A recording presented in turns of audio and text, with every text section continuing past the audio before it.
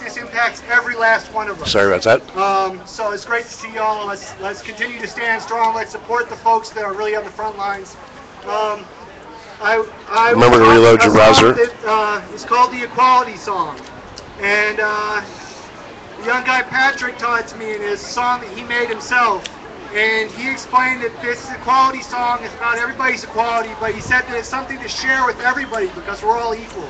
So he really encourages it to be shared and to be spread around. And so I, I want to honor him and that he shared this song with me with the intention of sharing it with other people to bring it down here, especially in occasions such as this, when we're really reminded of our equality. And we're really reminded of how much we all share that is the same. That we all have these same equal needs, not only as human beings, but as, as a whole ecosystem. So um, here we go. Hey ya oh oh oh. Hey ya oh oh oh. Hey ya oh oh oh. Hey ya eh. Hey ya eh. It's real simple, so just join in. If you if you can feel like you can sing it with me. Sing it with me. Way ya oh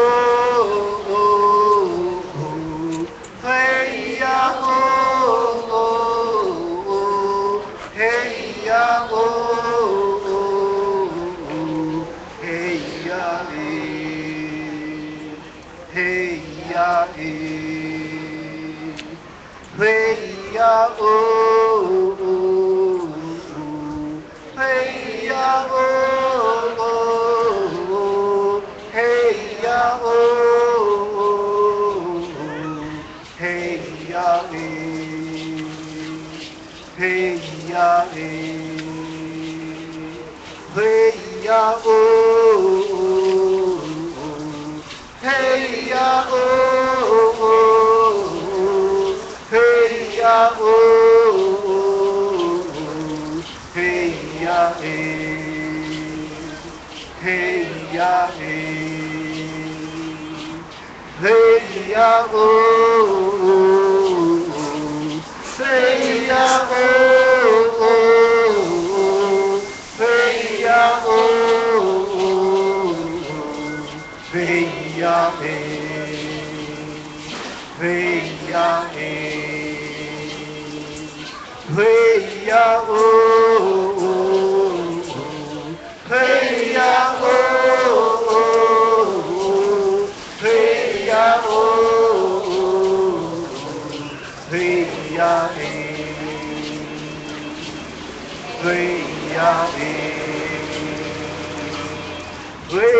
ya oh oh hey ya oh oh oh,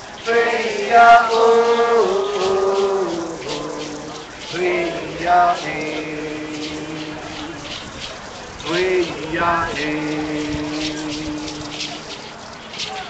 Thank you all.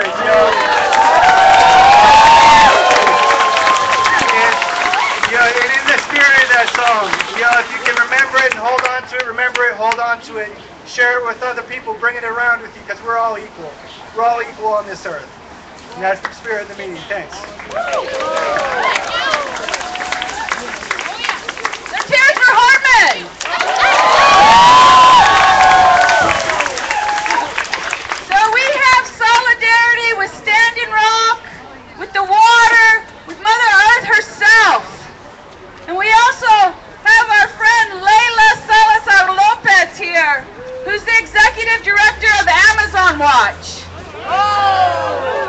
And she has a solidarity statement from our sisters and brothers in the Ecuadorian Amazon who are also being impacted by the fossil fuel industry. There she is. Welcome to our friends. Hi, everybody. Thank you for having me. Most importantly, thank you all for being here and standing in solidarity with our brothers and sisters in North Dakota. Um, I'm, I'm getting ready to partake in a, de- uh, a delegation to Hawaii next week. And I'm not going on vacation. I'm going with a delegation of indigenous peoples to promote the protection and the defense of sacred natural areas. Yeah. This is uh, something that people have been working on for many, many years, thousands of years, and this is an attempt to get international recognition for sacred natural areas. And as we're preparing, today I was talking to one of my close friends and allies, Patricia Gualinga, who's an international representative, a dirigente from the Quichua people of Sarayaku. And she said, I, I keep seeing pictures of some of our friends. I saw a video of Dallas, and I saw Osprey was posting some photos. What's happening? So I was explaining to her what was happening, and she was like, that sounds like what we're, that sounds like what's happening in Sarayaku. So I asked her she would send a statement to, so that we can send to our brothers and sisters. And this is a part of a movement of communities coming together all over the world. We say from the Amazon to the Arctic, but it's all over the world. People are coming together to say, keep it in the ground. Keep it in the ground on public lands. Keep it in the ground on indigenous lands. Keep it in the ground on native lands. Keep it in the ground everywhere.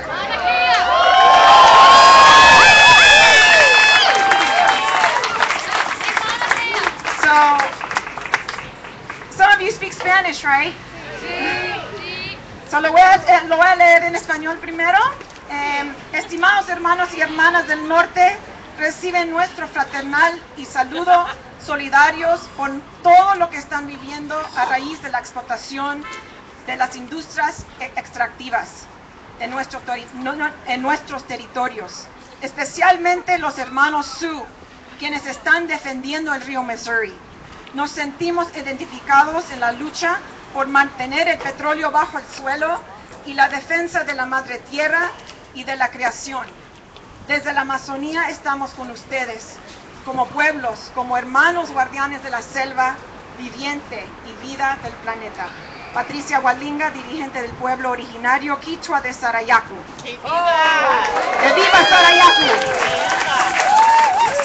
Dear brothers and sisters in the North, we send you a fraternal greeting of solidarity for all that you are living and experiencing uh, as a result of the exploitation of the extractive industries in your territories, especially to our Sioux allies who are defending the Missouri River. We identify with your struggle to keep it in the ground in defense of Mother Earth and all creation.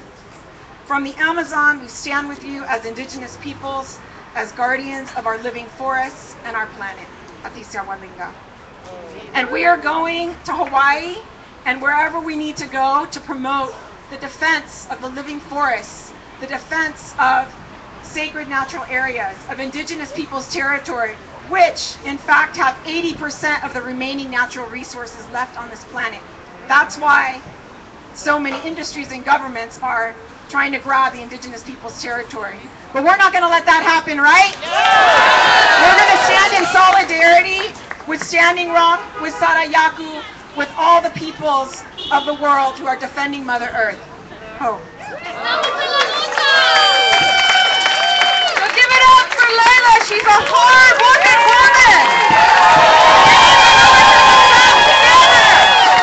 She's our friend. She should also be your friend. Are we all friends? So, um, my my head was full of things to say to you like a minute ago. I hate it when that happens. We're waiting for uh, Valerie Stanley to come. She's here. She'll be here in just a few minutes. So in the meantime, I just want to tell you a little bit about another local um, project to defend and protect Mother Earth that you could be a part of. How many of you have heard of Indigenous Women of the Americas defending Mother Earth? So there's some treaty signers here from that treaty. And it's a treaty that connects the indigenous women of the North and the indigenous women of the South. And it says in that treaty, we don't have time to change these laws that are ruining our earth and our air and our water and the way that they're normally changed. We have run out of time. And so we invite you on each new moon to join us or ha- on your own with your family and friends to pray for wisdom and guidance in how to move forward. Because we need that wisdom and guidance. We need help. We need to know which path is the correct path to take. And so you're invited to do that. And if you're here in the Bay Area, that happens at Cesar Chavez Park every new moon in Berkeley at 6 at 7 7:30. Now the other requirement of that treaty is that every 3 months on every equinox and solstice we shut something down. We shut something down that's harming the earth, the air, the water, and the soil, and all of our relations. Who's with us? We need to start shutting this down with the love in our hearts for everything we hold dear. Our babies, our grandbabies, the air that we breathe, our favorite place on Mother Earth's belly. So we do it with love. We do it with the thinking that these people who are causing these harms, they're not our enemy. Our enemy is the way of thinking. The way of thinking that has forced them into this confused state where they think that they can fill their heart, that empty hole in their heart, with money and property and stuff. And can they do that? No. That hole will never be filled that way. But it will be filled if we invite them to join us because we're for something important. We're for clean air, clean water, and clean soil. And who can be against that? Are we against that? No. Will we let them join us as we imagine this beautiful future that's just right there? It's just right there. Yes. It's, it's so close.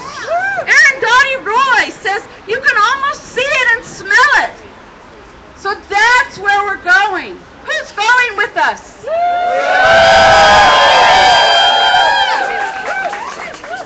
So I'll tell you a quick story until Valerie gets here. A couple years ago on the refinery healing walk was walk number two, where we walk from Martinez, where the Shell and Tesoro refineries are, to Benicia, where the Valero refinery is.